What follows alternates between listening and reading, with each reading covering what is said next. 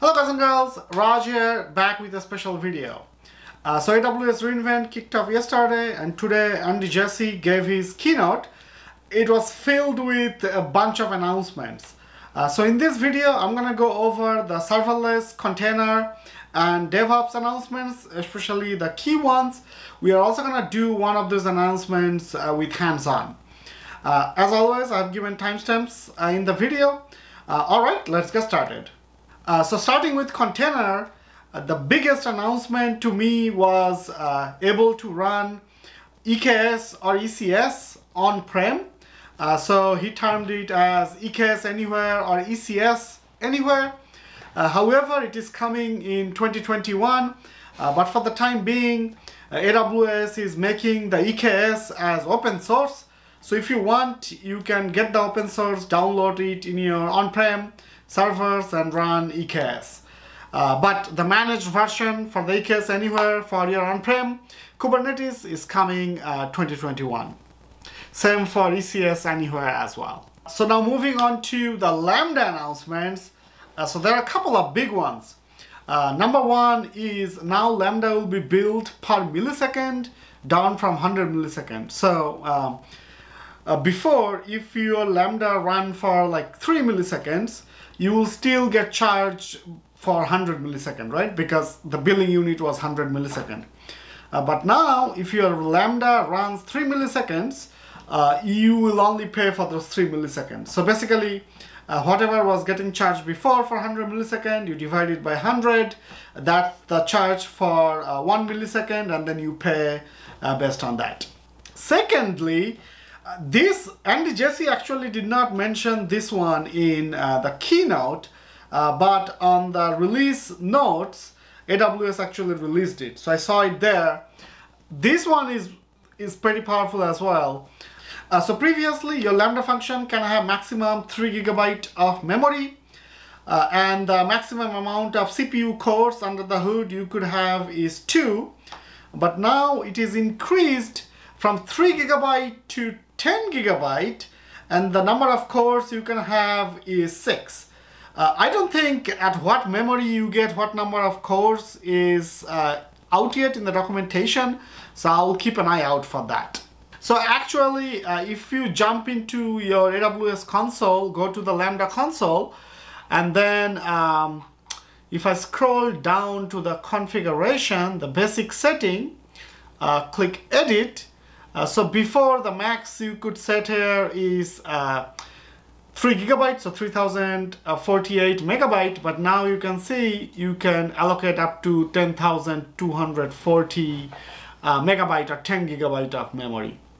Uh, so this is pretty cool. This opens up lots of possibilities, especially uh, with new AVX2 announcements which came before reInvent. Um, this if you are running machine learning based workload or some high memory workload or high CPU workload, uh, now you can uh, use Lambda uh, for those workloads. So I actually found this in uh, this uh, reInvent blog uh, where they list all the announcements. so that's how I know even though Andy Jassy did not mention it, it, it got released and then I, then I tested it in the console. so the next big announcement, this one is both container and serverless is a container image support for Lambda.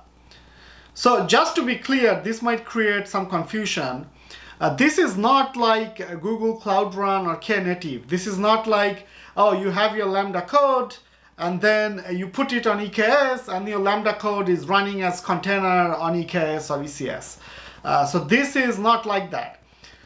So what this is, is when you run a Lambda, under the hood, AWS uh, spins up a container and the base image of the container AWS provides, right? Like if you are using Boto3 or some other library, AWS packages all that and gives you the container. And if you need external libraries, uh, you have to install it and create a package with without external dependencies.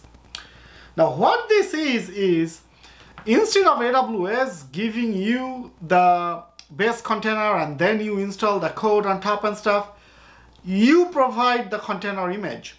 Uh, so let's say your, your code uh, maybe needs to run in uh, Linux 2 or something, and then you have a bunch of external libraries and other dependencies, you can put all those in, uh, create a container image, put that container image in ECR, right?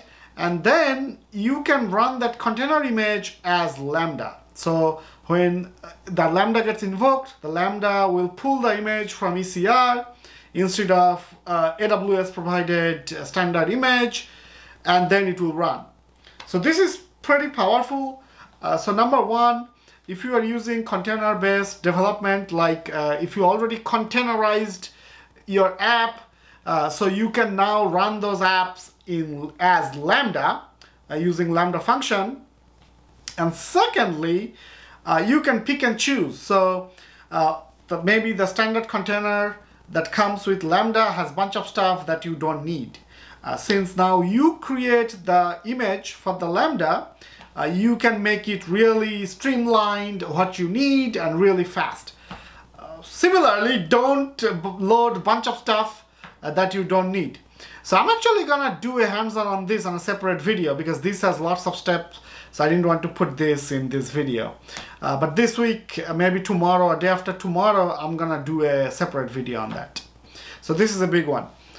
Uh, so now moving on to DevOps. So the thing I like about uh, the DevOps announcements is uh, it's not in vacuum. So it's very, very correlated with serverless and container. Uh, so the one announcement is DevOps Guru, uh, which identifies application errors and fixes. So I have not done it hands-on because this just came out today. Uh, so a lot of companies are trying to do this uh, thing as, hey, if I get a particular error, uh, can I run machine learning and identify the root cause of the error? So if you have, let's say, uh, your API gateway, Lambda, bunch of databases, etc., and you got an error, and you want to determine the severity of the error or find the root cause, uh, so sometimes your engineers have to dig a lot. So apparently this Amazon DevOps Guru will help you identify the application errors and fixes. Uh, so let's say uh, for some reason your Lambda throttled, right? Or uh, it has some anomalies in API gateway, like based on the duration or something. Uh, so this DevOps Guru can uh, go check out your metrics, DevOps pipeline, and bunch of other logs and identify exactly which component uh, caused the error and what could be the fix. Uh, so look out, I'm gonna do a separate hands-on video on this one as well. Okay, and the last DevOps announcements uh, that I really liked is AWS Proton. Uh, so today, if you are deploying uh, serverless applications or container applications as microservices, uh, you have to manage the uh, deployment, right?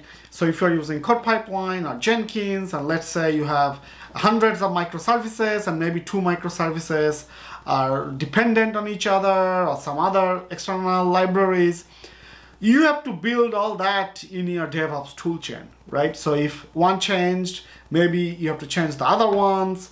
And then if you are building like thousands of microservices, you have to do all that yourself. So AWS Proton uh, creates a deployment pipeline uh, for your container and serverless microservices. And it, and it does some checks and enforces some consistent standards.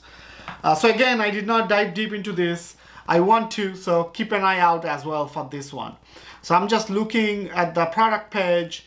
Uh, it says managing hundreds or thousands of microservices. You can set guardrail, um, developer productivity, and enforce best practices. So this looks a little bit similar to AWS CodeStar which can deploy a bunch of different applications, kind of gives you the CI/CD for it. So um, I don't know how it is different, but I'm gonna I'm gonna kick the tire on this uh, because CodeStar also had similar use cases, but I did not get much traction. Okay, so these are the container serverless and the DevOps announcements. Other than that, there is one more announcement which was database, but also touched on serverless. Uh, so we have this serverless, Aurora serverless, uh, where you can uh, spin up a database, uh, but you know database you have to say how much CPU, how much memory, how much uh, storage, all that stuff. And even if you are not using all the CPU storage, you have to pay for it, right? Because it's like EC2.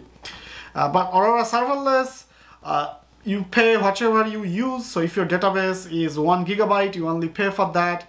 As traffic comes in or more data comes in, uh, the CPU increases, the storage increases, then it automatically scales up. That's the concept. And then you pay for it uh, during the time it's, it's, scaled up. And then if it scales down, you pay less.